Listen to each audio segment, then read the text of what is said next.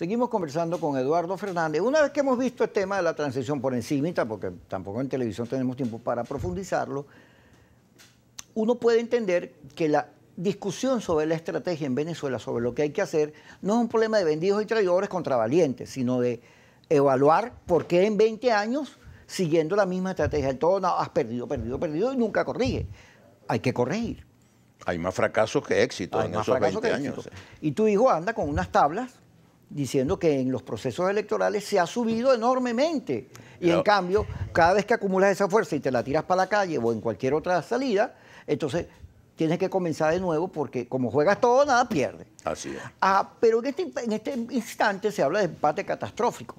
Hay gente que dice, no, bueno, pero si la mayoría, el país completo está contra Maduro. Sí, pero Maduro tiene ejército, tribunales, CNE, la institucionalidad. El aparato institucional. Así es. De tal manera que no es fácil. Ajá. Guaidó insiste en el TIAR, en la, política de la amenaza, en, su fuerza que es pues, el apoyo internacional, los Estados Unidos, la Unión Europea y el Grupo de Lima. Insiste meterse por ahí. Sin embargo, en el momento en que Henry Ramos dio aquella rueda de prensa para apoyar la salida de Garza Zambrano, dijo, bueno, el gobierno propuso elecciones a cambio de sanciones, pero nosotros no podemos resolver las sanciones, porque eso son los Estados Unidos. Cuando él dice eso, tú dices, bueno, entonces, ¿con qué cuenta el G4 como presión de, real? Porque si, si, si él no puede manejar la intervención o, es una decisión de otros, pues ah, en realidad, ¿con qué cuenta? Y ahí comienzan las dudas. Dice, bueno, cuentas con la amenaza, pero en hechos reales eh, no se le ve el queso a la tostada. Ahora, si todo indica que vamos a la, elección, a la reelección de Guaidó en enero, y el gobierno está diciendo, vamos, el año que la única elección que va a haber es la elección parlamentaria, tú, estás viendo que dice, ay, ¿cómo paramos eso? ¿Cómo evitamos eso? ¿Cómo es que logramos la elección presidencial? ¿Cómo ves todo ese cuadro? Mira, yo veo en primer lugar como ciudadano venezolano, digo, caramba, ¿qué pasa? Que tenemos tanto sufrimiento acumulado.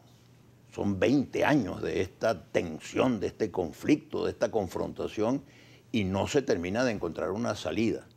Entonces, como ciudadano venezolano, yo lo primero que hago es reclamarle a mis líderes, a los del gobierno y a los de la oposición. Señores, ustedes tienen el deber con el país de resolver este problema. No sigamos perdiendo tiempo. Los venezolanos estamos sufriendo mucho, hay que resolver. Y yo creo que lo que hay es que convenir cuatro cosas. La primera cosa, Kiko, es ponernos de acuerdo en medidas que alivien el sufrimiento económico y social. gasolina, agua, luz, alimentación, energía eléctrica, los servicios básicos, el ingreso, la posibilidad de comprar las cosas en el mercado. Es un primer punto. Oye, ¿cómo hacemos para aliviarle a los ciudadanos, que al fin y al cabo son nuestros mandantes? Los señores del G4 y los señores de la Casa Amarilla y los señores del gobierno no son otra cosa que servidores sirvientes del pueblo venezolano. Todos debemos ayudar a que el pueblo venezolano sufra menos. Primer punto.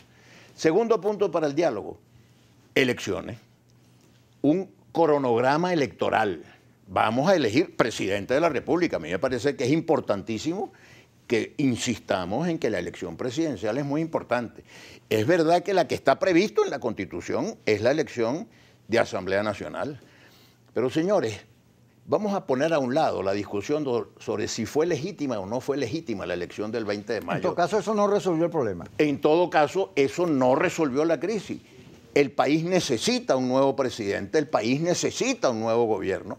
Señores líderes del gobierno y de la oposición, pónganse de acuerdo para ver cómo hacemos para que el pueblo venezolano elija un nuevo presidente.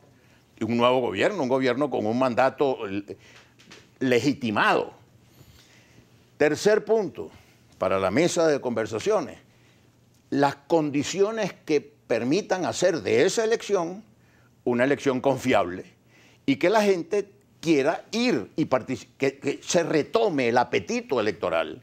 Efectivamente, como lo dice Pedro Pablo Fernández, en la oposición cuando ha ganado, ha ganado por los votos. Nunca ha sido por la confrontación y por la violencia, han sido con los votos las gobernaciones que se han tenido, la capacidad de discutir de quién a quién en la elección presidencial, el referéndum contra Chávez, la, enmienda constitucional. es la vía, la ruta electoral. No nos equivoquemos, es la ruta, ahí es donde somos fuertes. Tenemos 90%. ¿Cómo es que no tenemos organizada esa gente para lograr el cambio de gobierno que el país necesita? Y el último punto, mi querido Kiko, son las garantías que hay que ofrecerle a los actores de que al, pasar esto habrá un ambiente que permita un gobierno de unidad nacional que aborde la solución de los problemas, porque si después de esto cambiamos a, Maduro por Perico Pérez en la presidencia en Miraflores y le hacemos la vida imposible y un clima de confrontación y se mantiene esta especie de guerra civil eh, verbal que, que tenemos y a veces física, bueno, los problemas no se van a resolver. Ah, ¿y cómo se hace para lograr primero una sola dirección? que pueda tener claro por dónde va y no esta cosa que cada cual jala para su lado, toda la carretera no se mueve.